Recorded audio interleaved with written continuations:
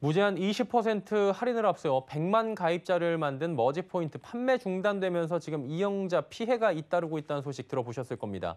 머지 포인트 운영하는 머지 플러스 서비스 중단과 함께 90% 환불 실시 방침을 밝혔는데 환불이 지연되고 있어서 이용자들은 하루하루 불안에 떨고 있다고 합니다. 자, 여기에 금융당국이 이 사태를 키웠다는 지적도 나오며 논란은 더 커지고 있는 상황입니다. 자, 최근 논란이 되고 있는 머지 포인트 사태, 금융부의 윤다혜 기자와 짚어보도록 하겠습니다. 윤 기자 나와 있습니까? 네, 안녕하세요. 예. 이 사태에 대해서 먼저 좀 설명해 주시죠. 네, 생소할 수 있는 머지 포인트에 대해 먼저 설명을 드리자면 일종의 결제 포인트 플랫폼입니다. 가입자들은 머지 포인트를 이용해 대형마트나 편의점을 포함해 외식 체인점 등 전국 2만 개 제휴 가맹점에서 20%나 싼 값에 물건을 살 수 있습니다. 이에 가입자는 100만 명에 달합니다.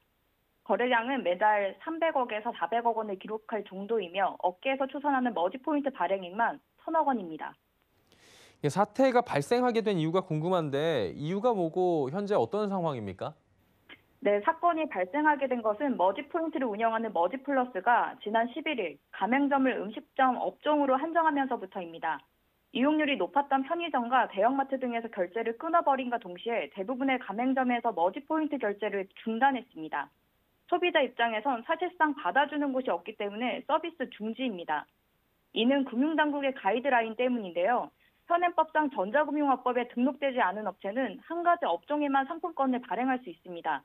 서비스 형태로 봤을 때 머지 포인트는 등록을 해야 하는 선불전자 지급업에 해당하지만 그동안 이를 지키지 않고 무허가 영업을 한 겁니다. 이에 금감원은 이달 초 머지 플러스에 전자금융업으로 등록하라고 시정 권고를 내렸습니다. 하지만 등록 못하고 머지 포인트 결제를 중단하며 사실상 포인트는 휴지 조각이 됐습니다. 피해는 자연스레 머지 포인트를 미리 결제해놨던 이용자들에게 돌아갔습니다. 포인트를 보통 10만 원 단위로 구매하니 소진한 경우는 극히 드문 상태입니다. 또 머지 포인트는 머지 플러스, 머지 패스, 머지 플러스 연간권 등 다양한 구독형 상품까지 출시한 상태로 이를 구매한 피해자들이 적지 않습니다. 이후 환불을 요구하는 이용자가 머지 플러스 본사로 몰려들었고 온라인에서도 피해자 모임이 만들어지고 있는 상태입니다. 이게 머지플러스가 그동안 한마디로 무허가격으로 영업했다고 하는데 이게 가능한지 궁금하고요. 대규모 소비자 피해가 예상됩니다. 이 부분도 좀 짚어주시기 바랍니다. 네, 2년여 동안 덩치가 커지고 있음에도 머지플러스는 영업하는 데 무리가 없었습니다.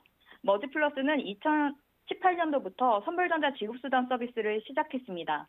하지만 금융당국은 그동안 기본적인 실태 파악도 하지 못해 머지플러스뿐만 아니라 금감원에 대한 책임론도 제기되고 있습니다. 피해자들은 온라인과 채팅창을 통해서 금융당국에 대한 질타글들을 쏟아내고 있습니다. 머지플러스가 천억 원에 가까운 포인트를 판매하는 동안 전자금융업에 등록하지 않았기 때문에 금감원이 몰랐다는 것은 소비자들이 납득하기 힘든 부분이기 때문입니다. 피해자들이 모인 온라인 커뮤니티 등에는 금감원이 미리 감독에 나섰으면 피해가 이리 커지진 않았다. 당장 그때 문제를 삼아서 피해자들을 최소화했어야지 등의 글이 올라오고 있습니다. 또 피해자들은 확인을 제대로 하지 않고 대량으로 머지 포인트를 판매한 티몬, 위메프 등에서 또 분통을 터뜨리고 있습니다. 이 천억 원의 포인트라고 말씀하셨는데 어마어마한 규모거든요. 이용자들 환불 받을 수 있는 겁니까?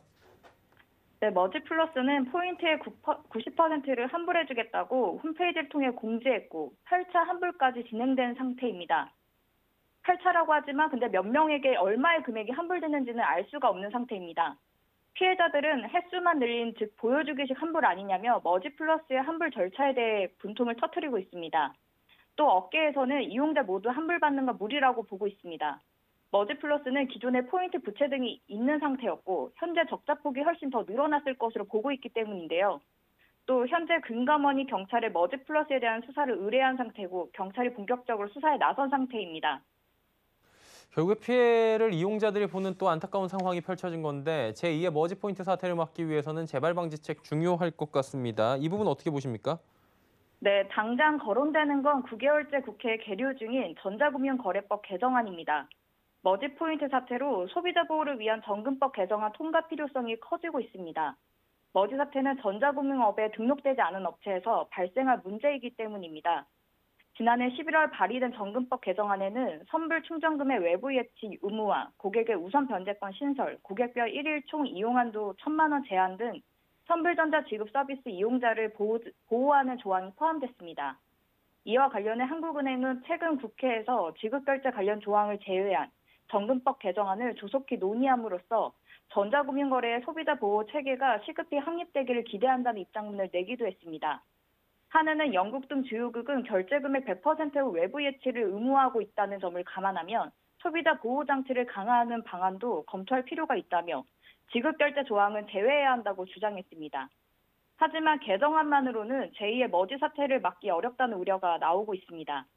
정금법은 전자금융업자를 관리 감독하는 법안이기 때문에 미등록 업자의 경우 관리 대상에서 빠지게 됩니다. 이에 미등록 업체까지 감독할 수 있는 제도가 필요하다는 목소리가 나오고 있습니다.